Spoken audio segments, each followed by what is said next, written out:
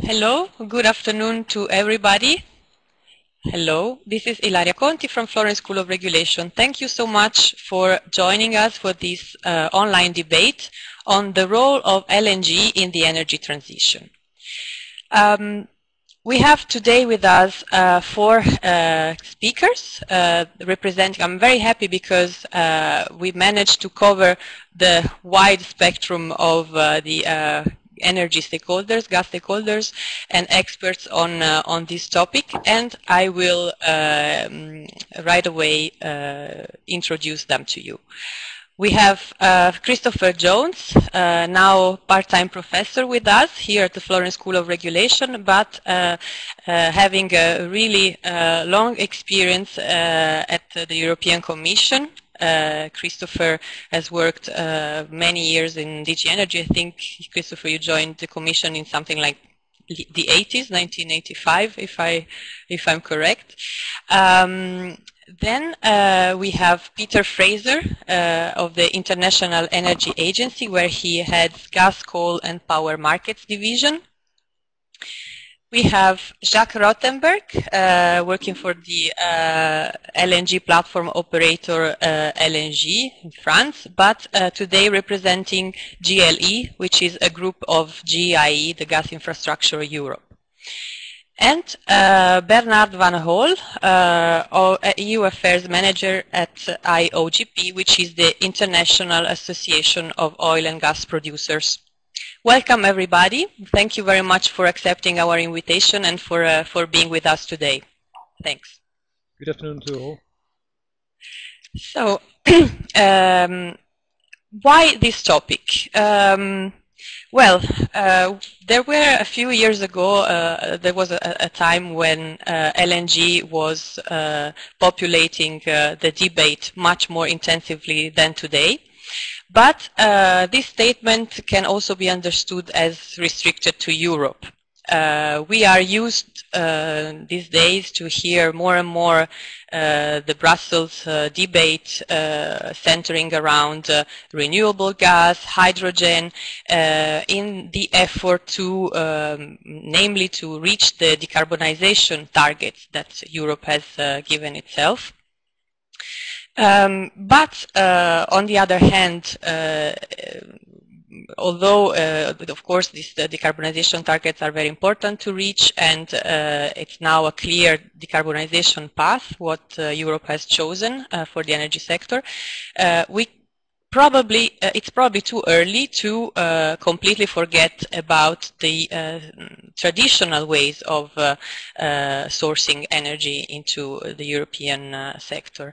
Um, so there's not only renewable gas, there are still and are probably due to stay with us for at least a few years more, also the conventional sources of, um, of gas. storage and today we are going to discuss about LNG. So um, is it really over for LNG uh, in Europe? Uh, what's the status uh, in uh, in the rest of the world? And um, how are the perspectives for for LNG? Um, how can it be used? Is it useful uh, as an instrument, as a tool, in also in uh, the energy transition for Europe?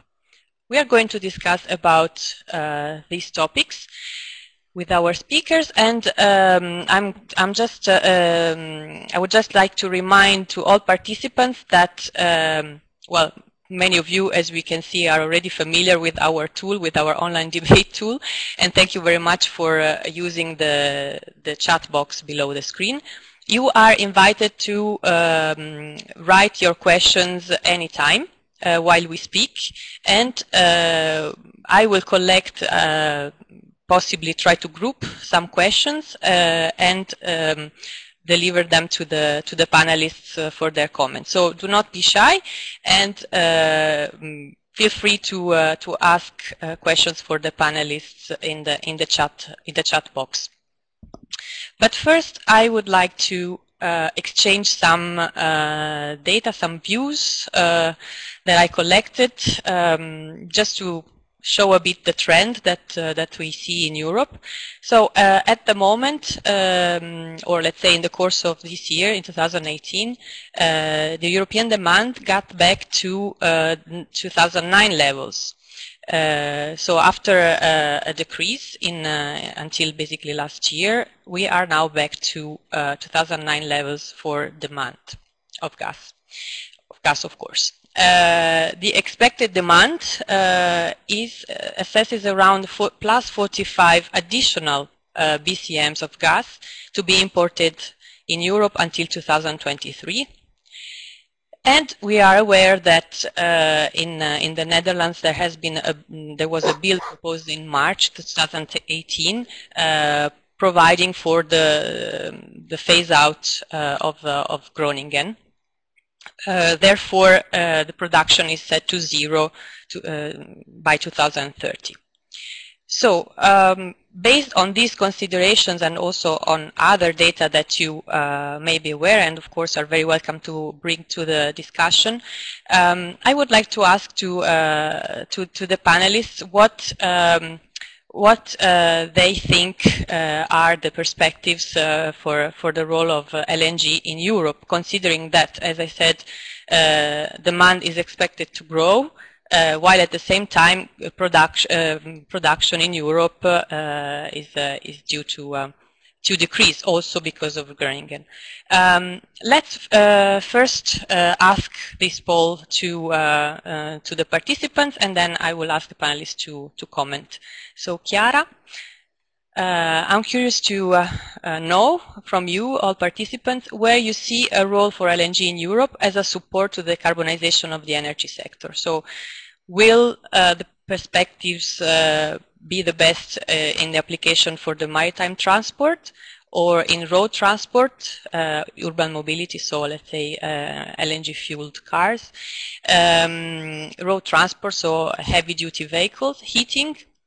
Uh, do you see LNG mainly as a supply, additional supply to the electrification, which is anyway planned for Europe, as a mean of security for security of supply, flexibility, storage, others? I deliberately uh, chose many possibilities, but you also have the, the chance to select more than one options if you want. So let's allow some more time. There's almost an ex aequo. There's an ex aequo at the moment. okay. Okay, good. So the poll is now closed, and we see that uh, security of supply seems to be uh, the most obvious, um, um, let's say, use for uh, for LNG.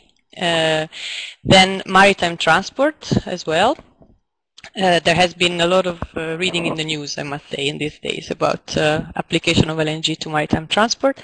Flexibility also and storage. So um, not much for uh, urban mobility. And this, I'm sure it's not good news for some operators in the sector. But okay, um, let's uh, start uh, commenting on these uh, polls. Uh, I would like to start with Christopher, perhaps, if he has any views and additional comments.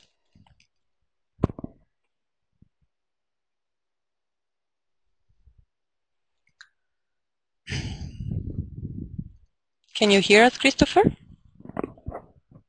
Yes, perfect. We can. Okay, we're back. Thank you. Um, so in order to look where we're going to be with LNG, I'd like to start with the, some fundamentals of demand and supply, because that gets you to an answer of where we're going to be. Um, and look at where we're going to be in 2030, 2040, 2050 in terms of European gas demand and who will supply it. Um, over this weekend, I wrote an article uh, which is entitled Have Compassion to a General Counsel, trying to give any prediction to his board regarding corporate strategy for utility 2030, let alone 2050. And I think that is characterized by what I'm going to say here. And I'm very much looking forward to hear what Peter's going to say um, about this. So according to the EU, where we are today, EU demand is expected to fall from about 470 BCM today, that sort of number, to about 340 in 2030, be more or less flat until 2040, and until towards 2050 it's expected to reduce. In the 2050 paper that the Commission published earlier this week, um, sorry, last week, um, it took a much more aggressive approach insofar as we are focused on a 1.5 degree global warming scenario. But let, us move with this 340 BCM a year by 2030 and then stable by 2040 and think about that. Now, let's first of all think about um, domestic indigenous production because that's going to fall off a cliff more or less during the same period. So that the need for European imports, according to European Commission figures, are going to be more or less stable to 2030 and 2040, perhaps even increase towards 2040. Um, so let's let's take that as a first point that we expect imports to at least maintain where they are today, 2030 and 2040. Okay. Now these figures are predicated on the Commission meeting all of its targets um, to 2030, and we have every reason to hope and desire and expect that they will, but they're not that simple to do. Um, according to Thierry Bros um, of the Oxford Energy Institute, um, European energy intensity has reversed since 2014, so that we're now using more energy the use of the uh, GDP, and the total amount of energy we're consuming is increasing, which is a change in where it's been since 2008. Now, you take that, take that combined with the fact that the energy efficiency targets, which are also predicated on the idea that um, many of our buildings are going to be refurbished a lot faster rate than they have been until now, which is really, really difficult to do means that the 340 BCM per year is probably a baseline in the absence of additional very, very difficult measures to take. Now, so where are these imports going to come from? Wait, wait, wait. Norway, Christopher. yes. So thanks, thanks a lot. Sorry, I have to uh, very, be very strict with time, and uh, I have to. I'm afraid I have to cut you here, but because you also sort of anticipated my next question, so it's a very good moment to cut you. Sorry, Christopher.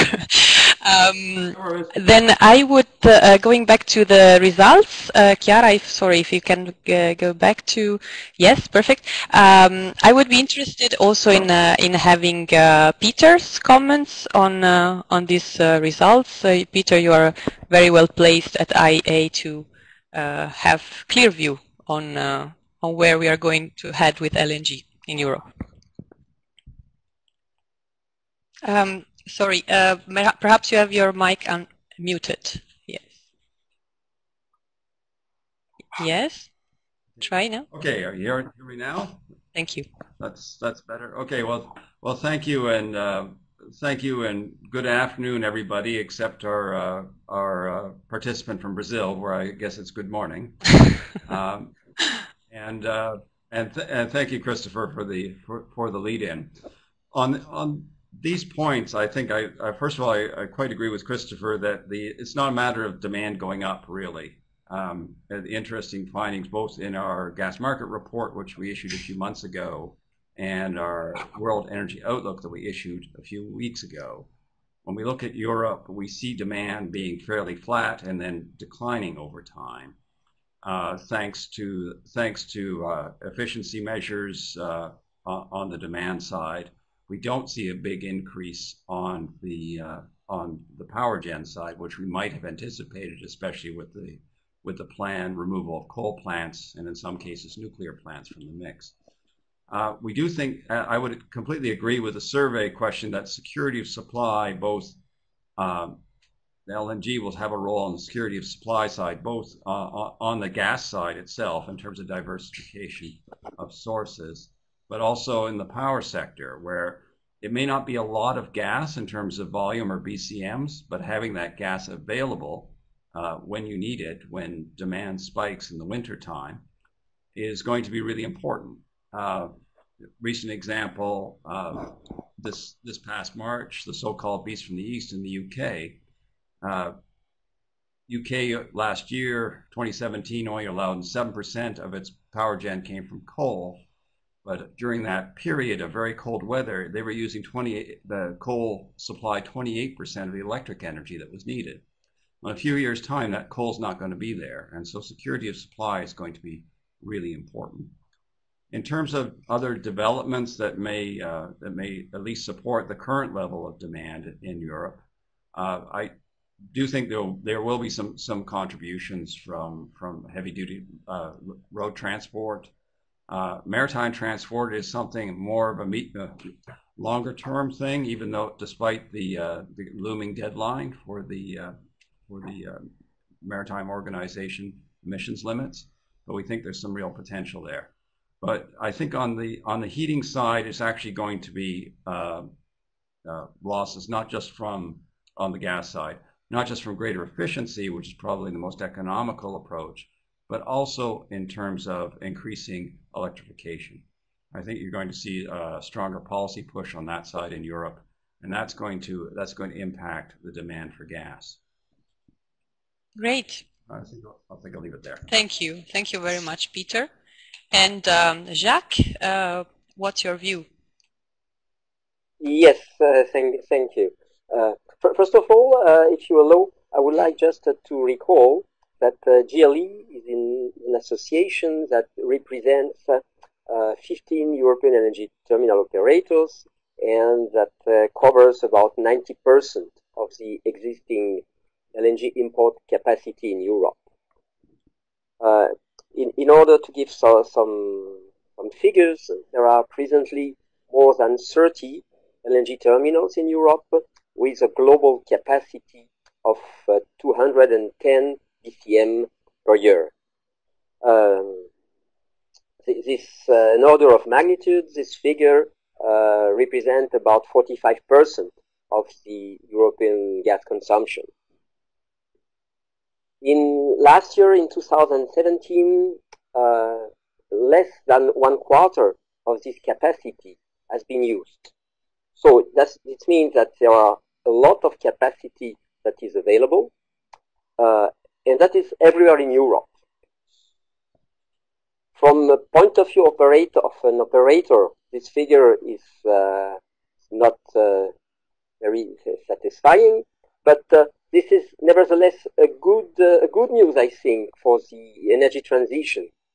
As uh, LNG, and we, I, I, think we will see it uh, during the discussion, LNG is, uh, from our point of view, uh, the best friend of renewables. Um, indeed, the high level of uh, flexibility of LNG supplies, together with the low emissions of the natural gas, make LNG an, an ideal partner for the development and of the integration of intermittent renewables uh, energy such as uh, such as solar and wind. Regarding the role of uh, LNG, I think uh, it will play in the coming years. Uh, it, it, will play a role in, in in every sector. This is what we we see on your um, on your on, on your screen uh, with differences, of course. But I think that the, the, LNG will play a role in every sector, in the traditional ones, um, and also in the new sectors. I, I would like just to recall that um, as a natural gas, because LNG is liquefied natural gas, LNG is the cleanest of all fossil fuels. It emits no sulfur oxides. It allows a very large reduction of nitrogen oxides, of particulate matters, and uh, uh, it contributes also uh, to a reduction of CO2 emission. For instance, for power generation, it emits half of the amount of green gases uh, compared to, to coal. And uh, regarding, still as an example, regarding the new uses, LNG offers an excellent opportunity for improving the environment footprint of the transport sector, should it be the marine, the shipping sector, the maritime sector or for heavy duty vehicles. And, um, and, and maybe a, a, last word with respect to security of supply, which is an important uh, uh, topic according to, to the audience, and, and I agree for that. I, I would like to, to underline that LNG is reliable and flexible. And this is something that uh, has, a, has a lot of value with respect to volume um, as well as uh, with respect to peak demand. Okay, excellent. Thank you very much, Jacques.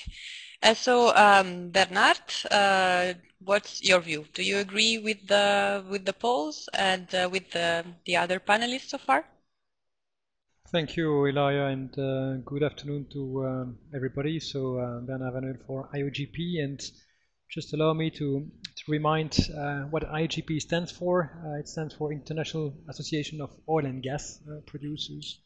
So our members produce oil and gas uh, worldwide, but if we focus on the, the EU picture, um, members produce 90% uh, of uh, European gas production.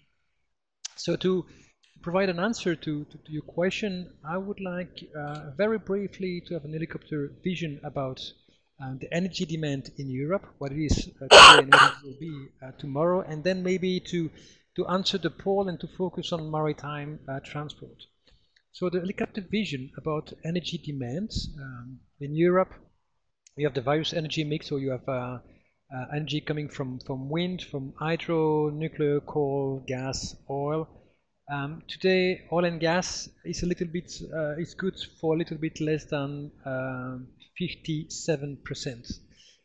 By 2040, in a 1.7 degree scenario, oil and gas will still be good for 40%. Uh, and actually gas, the demand for gas in 2040, in a Paris Agreement uh, compliant scenario, gas will represent the, the biggest share of the, the energy demand in, in Europe. that's the general picture about gas. Now, when you translate that into potential demand and for, for LNG more specifically, um, I will take the example of maritime transport where there is uh, very interesting potential. Uh, first, it's uh, important to, to remember that maritime traffic is international by, by nature. Just think about the traffic between China and, and Europe. That's one. Two, think that where the big ports are located, Rotterdam, Antwerp in the north, but also Gibraltar as a main uh, bunker hub. And if you take that into consideration and also the context of um, the international context and the EU context about emissions regulation, there is the, the SOx uh, limitation, but there are also the other limitations about NOx and probably in the future about uh, small particles. And the recent one uh, from, from IMO about um, CO2 or greenhouse gases, there will be there will be significant demand for um, alternative fuel, and because of the pressure on the shipping industry and uh, the very uh, tough market conditions they're operating, the, the, the margin of profits are very small. We believe, we do believe that ship owners, when they will have to make a choice for an alternative fuel, they will choose for a fuel which can offer a lot of environmental benefits. And uh, Jacques from uh, GIE explained the benefit in terms of SOx, NOx, and, and others. They will also choose for fuel which is available on the market and at a decent price. And today, such alternative fuel which is available in large quantity and at a decent price, it's LNG. So LNG already today is there to provide some answer to the significant pressure which is on ship owners to reduce the emissions. So all this together, um, high regulation for uh, decreasing um, emissions from vessels, main ports in Europe, uh, Europe being located on a main shipping lines, uh, these all elements offer good prospects for LNG. Excellent. okay, thank you. Thank you, Bernard. Thank you all.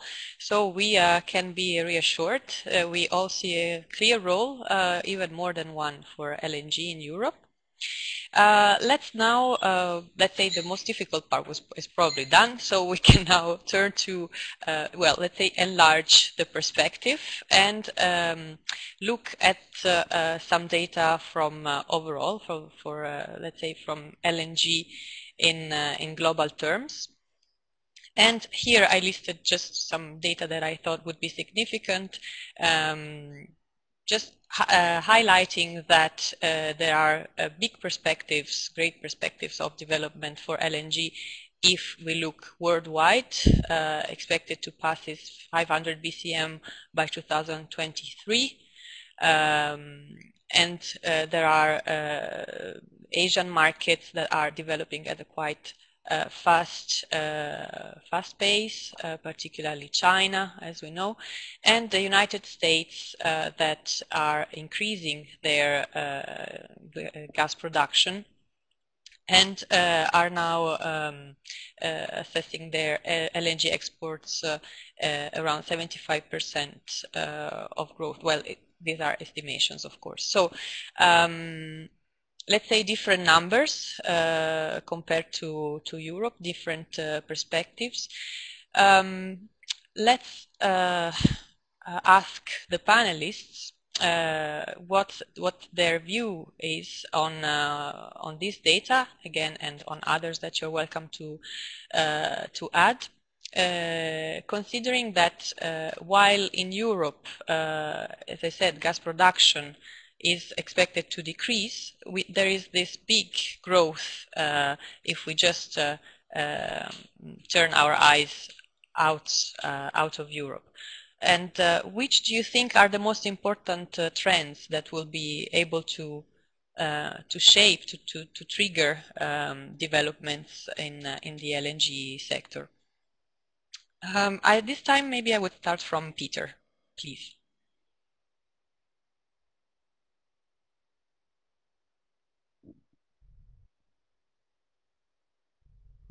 Thanks for the opportunity to comment on this one. This is certainly a topic that we've looked at in both our gas market report and in our World Energy Outlook.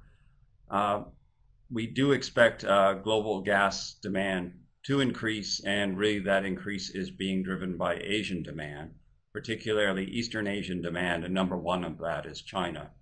Uh, this year's growth uh, in Chinese Chinese demand overall and in LNG demand, which is really driven by a policy rather than by the economics of it, uh, is is really one of the driving forces behind fairly strong, very strong uh, LNG growth for the next few years.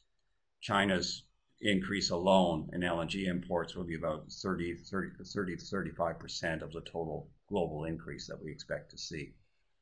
Other countries, um, other countries in Asia as well are also increasing uh, their imports.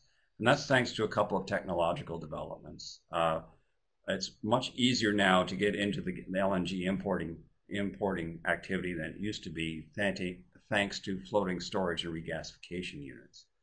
And also, even production is getting a, a, a little quicker to develop now, equally with uh, with floating uh, floating LNG units that have, have been developed recently. So we see some trends already that uh, gas, the, the, that the LNG market's becoming a little more open and, uh, and attracting more investment.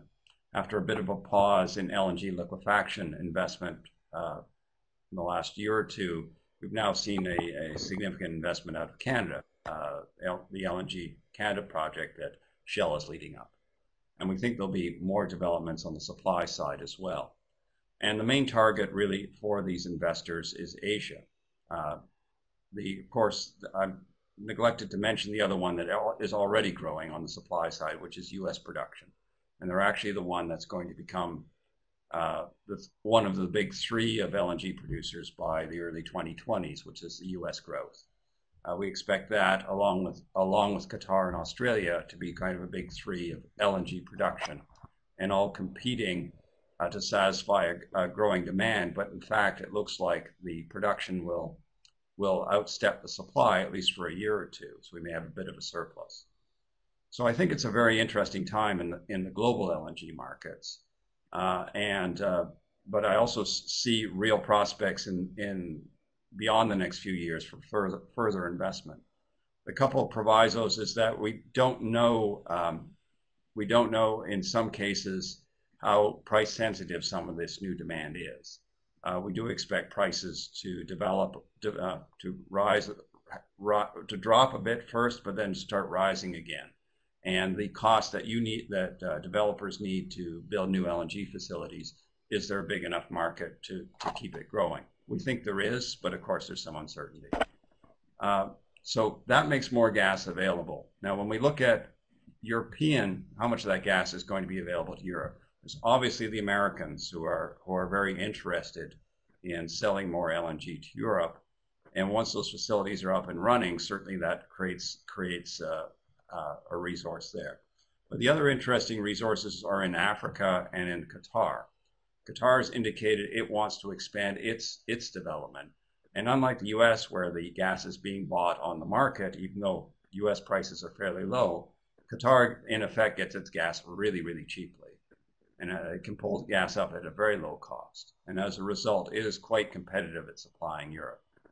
There are also some eastern, uh, uh, sorry, interesting developments in both Eastern Africa, Mozambique in particular, where we think there's going to be really significant growth, and also some in West Africa as well. And I'll leave it there. Very good. You leave us always with, at a very interesting point. Uh, you leave us with many potential questions. But um, let's uh, ask then Bernard uh, to comment on uh, this uh, this data and also uh, the interesting additional points brought by by Peter, if you like. Okay, thank you, uh, Ilaria. Maybe um, as a producer, I, will focus on more on the, the first part of, uh, of the question, uh, at least in the way it is um, drafted. Um, Yes, indeed. Uh, about European production, um, people have in mind uh, Groningen and then uh, the decrease of production also uh, in the UK, which is a major basin. Um, this is true, it's completely true. Now we, we need to keep in mind also uh, the recent uh, discoveries in Norway. Norway is part of, of Europe, maybe not the EU, but but Europe, EEA, and a lot of the EU regulation a main supplier to, um, to, to European uh, gas for EU gas demand. And then what is probably also um, probably uh, underestimated is the potential in the East Med uh, with uh, Cyprus who was made uh, very uh, interesting discoveries recently. So there is still potential in Europe. Um, don't believe too quickly that uh, the activity is, is over. Uh, and actually, there are even reserve, which are not uh, tapped, potential reserve for an additional 25 years production of gas in, in Europe.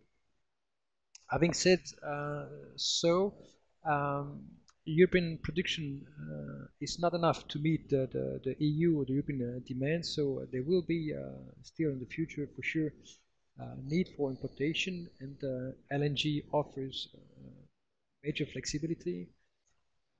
Peter has mentioned um, two major trends, Asia, the Asian demand for, for LNG in the future, and also in terms of production, uh, US increasing the, the production for, for gas. So uh, these will be the two key elements of, of the future dynamic and where this LNG cargo is, is, going to will go to uh, at the end of, of the day um, I guess it's it's it's more it's much in the, the hands of the market. The market decide will decide where the cargo will go to. Okay. Thank you Bernard. And uh, uh, Jacques uh, what do you think about the global perspective? Yes yes. This is um, this is a very, a very difficult question. Uh, making provisions uh, over the future is always a, a, difficult exercise. During the, the last two or three years, uh, uh many analyze, analyzed, uh, analysts sorry, uh, regularly predicted a wave of LNG in, in Europe.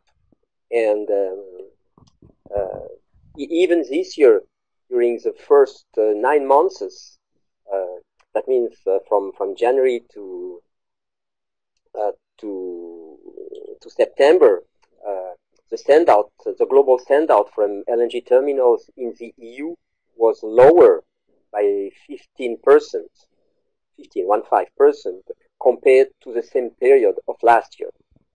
And suddenly, suddenly, uh, in October, uh, the, the panorama has totally changed. For the first time since uh, 2011, so the first time since uh, the Fukushima uh, event, accident, the global sendout from the European terminal in Europe exceeded the level we have seen in so in 2011.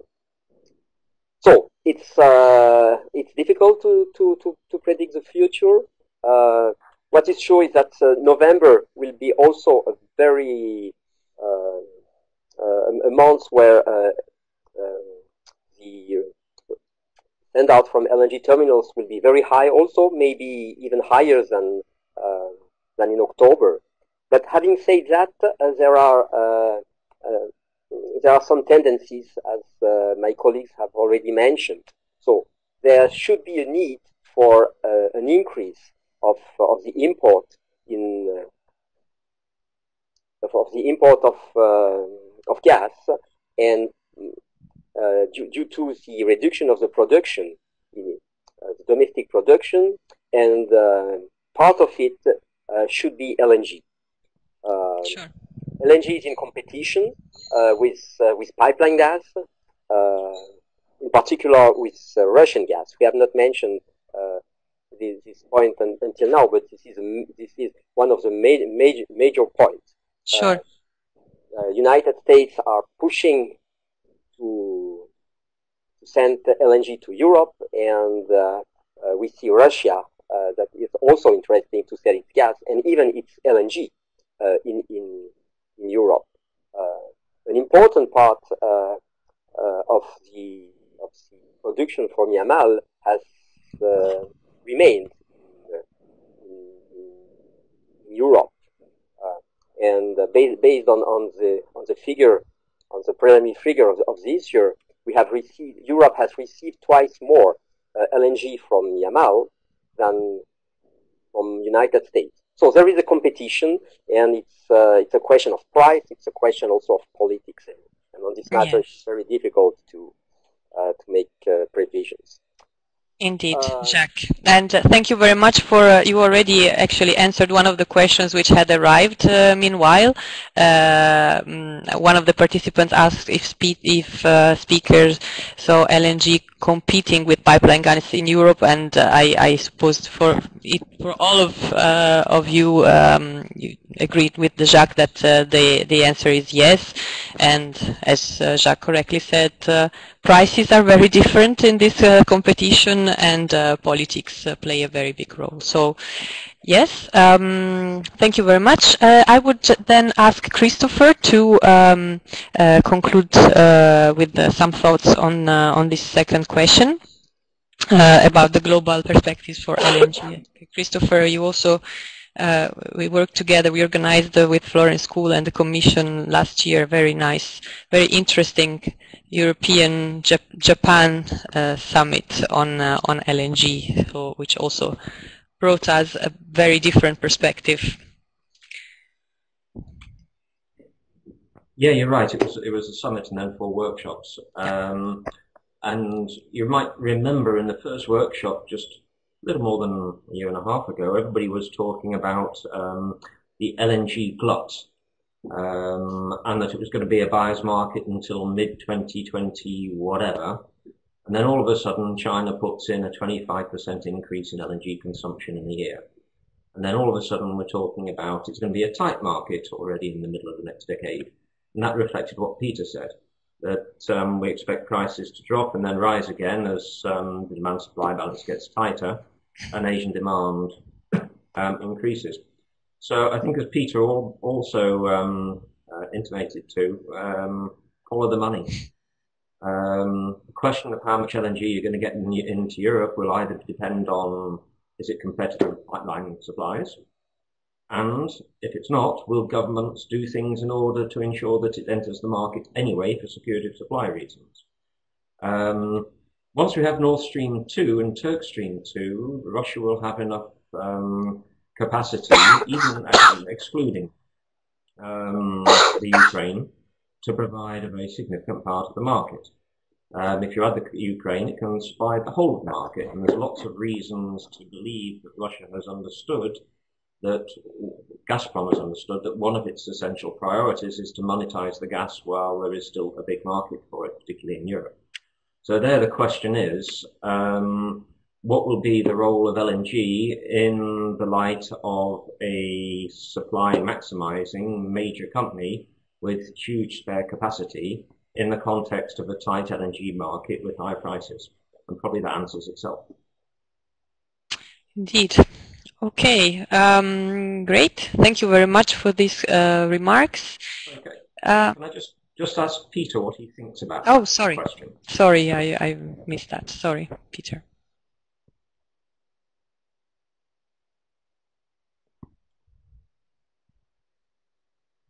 Sorry, Christopher, exactly what's um, what's the point you want me to answer?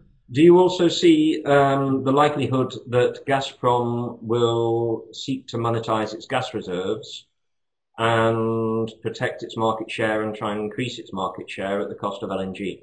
Because that would be the logical thing to do. Well, as you pointed out, it certainly will have the capacity to do so. Uh, I think I, I I think uh, when we when we do our outlooks, we tend to assume that LNG does play an increasing role, but uh, that uh, both you know the need for greater imports is, ends up being split between pipe gas and LNG, roughly 50-50. So that's how we come down on it. So presumably that's well, well that's that's that's how we see it right okay, now. Okay, thank you very much. I think it's now time to uh, dedicate uh, some attention to the questions that we have uh, meanwhile received in the box. Um, let's start, let's go to in chronological order. Uh, how do the speakers estimate the impact of methane leakage on uh, the utilization of uh, LNG? Well, methane leakage is again one of the um, topics which was discussed uh, also at the latest Madrid forum.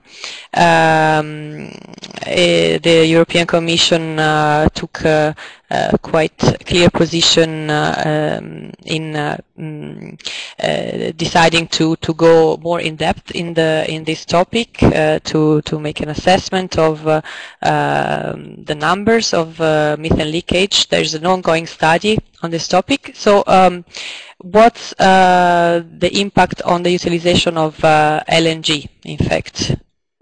Uh, who would like to answer this question? Peter or? Well, I'll, st I'll start with that by mentioning some work that we've done about uh, for last year's World Energy Outlook. Uh, the 2017 World Energy Outlook had natural gas as a special focus. We certainly looked at the methane leakage question in, in some depth, and I think a couple of observations. The first question, sort of question that people raise is the question of, well, is it, there's so much leakage from from natural gas production and transportation that you're better off sticking with coal. So we had we had to look at this question, and we concluded based on the kind of leakage rates that that are that are being observed that that that's generally not the case. Uh, second thing though is that we we when we had a close closer look at the uh, at the emissions patterns uh, based on the data that we're able to find, uh, that we that there actually are lots of economic opportunities to to uh, to eliminate these uh, eliminate these leakages at relatively low cost. So in fact, we assume about over half of the leakage that takes place could be could be eliminated cost effectively, and we have some uh, analysis to that effect. And we, it's good to note that some of the the major oil and gas companies have, have taken up on that and have identified uh, uh, leakage reduction as a as a priority for them, making those economic investments uh, to reduce methane leakage. Okay. Good. Thanks. Um, does anybody else would mm, want to comment or add anything?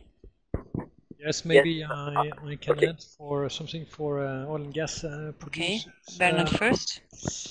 Yeah, uh, indeed, uh, methane leakage um, is, is an issue um, that uh, not to be underestimated. At the same time, Um, um, could you keep your mic a little bit closer? I think the audio is a bit intermittent. Yes, yes. Okay. So I was saying uh, it's an important issue uh, that should not be underestimated, and at the same time, it needs to be put into its proportion. And uh, Peter Fraser from um, the International Energy Agency uh, made it uh, very well. Um, it's uh, it's an issue that is taken with a lot of seriousness by oil and gas producers, and we are putting this um, issue high on our agenda uh, in the, the, full supply chain production and transport uh, to monitor and to see how we can reduce these um, leakages. Now, if we uh, jump to the specific segment of uh, shipping, so LNG as marine fuel, there is also um, concern about uh, methane seepage. It's not leakage, but seepage for whatever reason.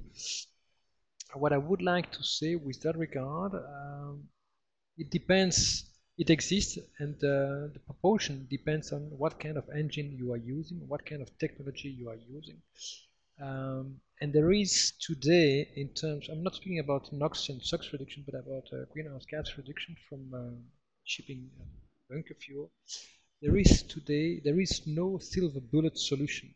So uh, even with um, seepage, um, we still believe, we strongly believe that uh, LNG can be can be uh, an element of the solution but of course you need to uh, implement best practices to make sure that you reduce the CPGs to its uh, minimum minimal Sure. Okay. And Jacques, uh, you want to complete the answer, please? Yes, I, I, will, I would like to, uh, to add on what has been said that um, methane emission, of course, is uh, something that uh, the industry has to has to look very carefully at, and uh, that's what uh, the, the, midstream has done. I mean, GIE GIE members have participated to a survey, to a study made by Marcogaz regarding the, the emissions, the, the methane emissions from transport underground storages and, uh, LNG terminals in, in Europe. And um, the result and the figure are, are, are public. And uh, so the, the result is that uh, the methane emissions from, um, from, transport sector, uh, from the underground storages and energy terminals are very marginal compared to the uh, gas consumption. Uh, the, one, one figure, uh, the methane emission is less than half uh, a thousandth of the, the gas uh, of the gas emissions of the gas uh, consumption. Sorry. So it's a, it's a very very small figure. The, the most important thing that has to be done, I think, regarding production. Regarding LNG, maybe one one precision also, uh, uh, because the LNG is transported by ship. Uh, we have to, to have in mind that uh, the uh, boil off from from the from the tanks in the ships are reutilized are, reutilized for um, for the turbines or, or the or, or, the engines in the ships. So there is no emissions on, on, on from this point of view, methane emissions from this point of view. Okay. Thank you. Thank you, Jacques. Okay, um, meanwhile here a little sort of uh, debate uh, between participants uh, started and uh, well, uh, the, the question is, um, or let's say that the topic debated is uh, is an old one, to be honest. Is uh, is there a need for infrastructure? Are there bottlenecks that can be solved uh, thanks to um, uh, by adding more infrastructure? And if so, which infrastructure? Let's uh, pay attention to cost-benefit analysis because in some cases it, it can be um, trying to to make the best out of the current infrastructure that we have, or if we need new ones. Um, new infrastructure, uh, let's pay attention to the costs because uh, LNG um, platforms LNG regasification terminal are expensive. So just to I, I summed up uh, this uh, this conversation. Perhaps I would ask the neutral question mark view of Christopher on uh, on this. Is there a problem of infrastructure to solve, and if so, uh, how can LNG help in this sense? Is there a need for more LNG terminals? Uh, Christopher, I think your mic is muted. Yes, try now. Please. Yes. Okay, that's good. I don't think we need more LNG terminals per se. We have 212 BCM import capacity um, of a demand of 570. So there's there's plenty of LNG terminals. The, um, from the Commission's perspective, um, they've made it very clear that um, an additional capacity is needed in uh, Krk in Croatia in order to bring LNG as competitive source into the region of Croatia, Hungary, and that sort of area. But um, I think the, the need for additional LNG terminals is limited. What is a great priority is to connect the um, the existing LNG to um, consumption. And there we have some issues that do need to continue to be solved, such as the fact that all the capacity in Spain is more or less isolated. So it's a matter of connecting the terminals we have through limited investments um, rather than building new LNG terminals. Okay, thank you very much. Um, I would refrain from asking your own uh, view to, on this question to, to the other speakers. Um, let's proceed with a few more. But thank you very much. Let me thank the participants because this is also um, precisely uh, uh, one of the uh, missions of having such uh, online debates is to stimulate discussion. So thank you very much for uh, um, taking the initiative to, to bring this discussion forward. Um, I would pick now another question as we are approaching the end of this uh, debate. Um, there is first a clarification question, I think, to you, Peter. Uh, what do you mean by the Asian LNG demand is driven by policy and not economics? What I mean, although I, I, I would say that's my reference was primarily to the Chinese market. Uh, in the case of China, uh, they have a lot of coal that they use in boilers in industry and even domestic. And so there's, uh, that has had a very uh, bad effect on the quality of urban air. And so the policy of the government is to eliminate those coal boilers primarily to, to by installing instead new natural gas boilers.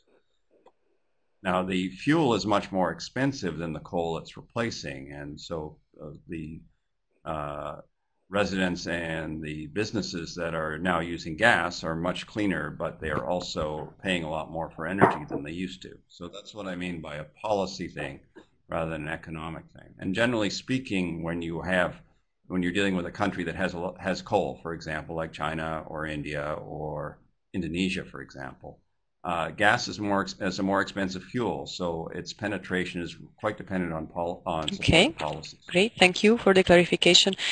And then uh, a question to um, all of you: How does the expert think about uh, SNG, uh, synthetic gas, um, using renewables, affecting the LNG market in Europe? Is it a threat, or is it to be perceived uh, in other way? So it's the, the um, SNG, the synthetic syn, syngas. It uh, stands for syngas for those who, of you who are not uh, familiar with it. Um, who would like to answer first? Also a very new topic. Huh? It's not that uh, there is much literature on uh, on this yet, uh, and the effects are still to be seen, of course. But well, I, I I would, sure. It's Christopher. Um, it's it's worth looking at the Commission's document from last week on its 2050 1.5 degree, where it does talk quite a lot about synthetic gas and hydrogen, because it's clear um, that if we are going to go to a very highly decarbonised energy system, then hydrogen or synthetic gas, certainly for industry, will need to play a role. Um, this being said, it's going to be an awful lot more expensive than natural gas, at least where we are today. So I don't expect that there will be any widespread um, substitution of natural gas or LNG or whatever it may be um, by synthetic gas in the uh, with existing ETS prices. So you're probably looking at post 2030 something before that would yes. become a real issue. Sure. Thank you. Um, let's see if there are some remaining questions that I have neglected. Um, okay, there is one on Qatar, so on the role of Qatar in the, uh, let's say, geopolitics of LNG. So uh, since um, Qatar has not been a member of OPEC from 31st December 2018, uh, what's the input that uh, Qatar has? What's, how does it enter the picture? Maybe Peter again? Well, not uh, not so much because it's really a gas producer. Uh, I think it, it, produces around two million barrels a day of of, of liquids, but most of that is natural gas liquids rather than, than crude oil. Uh, so so its its impact on the oil its impact is uh, fairly small overall of course, Qatar, as they've said, are you know their main focus is on further development of their natural gas fields and their natural gas resources. It's much more priority for that country than than oil is. So I don't I don't see a big impact on, either on the Qataris or on. Other views from the other panelists on this? No. Okay. Um, then I think. Uh, there, uh, Chiara, I would like to uh, ask you to help me if I forgot any any question. There, I see uh, many interventions, but they are more uh, joining the the previous debate on uh, on infrastructure. And I promise I will read all of them. And if that's the case, organizing a new debate on this topic. Um, okay. So maybe yes, David. Uh, David asks if uh, we can, if he can get a small comment about uh, small-scale LNG. Indeed, this is something that uh, um, seems also to be gaining more and more importance in the in the picture. So, um, any views, perhaps uh, starting from Jacques? Uh, yes, regarding small-scale LNG. Um, yes, we we are quite confident that uh, small-scale LNG will, will develop. Uh, it, uh, it has started already um, with the use of LNG for, for trucks. even in your poll, it doesn't appear as an important topic, but on the figures that GLE has shows a very, very rapid development of the, of the use of, of LNG for trucks but it's quite uh, it's, it's quite easy because we were we started from almost zero. So, but uh, the number of trucks that has uh, that entered into operations uh, run by LNG uh, has increased. There are uh, new stations for LNG. Regarding maritime transport, regarding shipping, there is also a, a lot of signals, very very strong signals that shows that LNG will develop very rapidly. The most of uh, the, the, most of these uh, signals are the numbers of uh, cruise ships, heavy, not heavy, but very very large cruise ships. there, there were the first cruise ship, Ida Ida Nova, will enter into operation this month, and more than 10 or 12 will, will follow in the two or, or, or three, three years from, from now. And also there is uh, the uh, container um, uh, container um, transport company CMA CGM that has ordered um, nine uh, big container ships that will be fully motorized with with LNG. So, so we have strong signals. We have to develop the infrastructure for um, um, for supplying the, the LNG. So it's not uh, ev everything is, is not uh, yet done. We have still a lot of work to do. and uh, the support from the European Commission on this point is will be welcome. Um, but we are very confident on that point. Maybe if you allow me, if you have one minute, just one second, I just would like to mention bio-GNL. Uh, we, you mentioned syngas, but there is also some, a lot of, not, not, not a lot, but the, the research regarding uh, the production of bio, bio-GNL uh, is something that has started. Uh, we heard a lot of, um, we, we, heard a lot of, uh, about um, uh, green gas, but there is also green LNG that, that will come. Great. Thank you very much. Let me uh, close this very interesting online debate by thanking each of you for uh, interesting uh, uh remarks and for bringing your knowledge to uh, to this platform.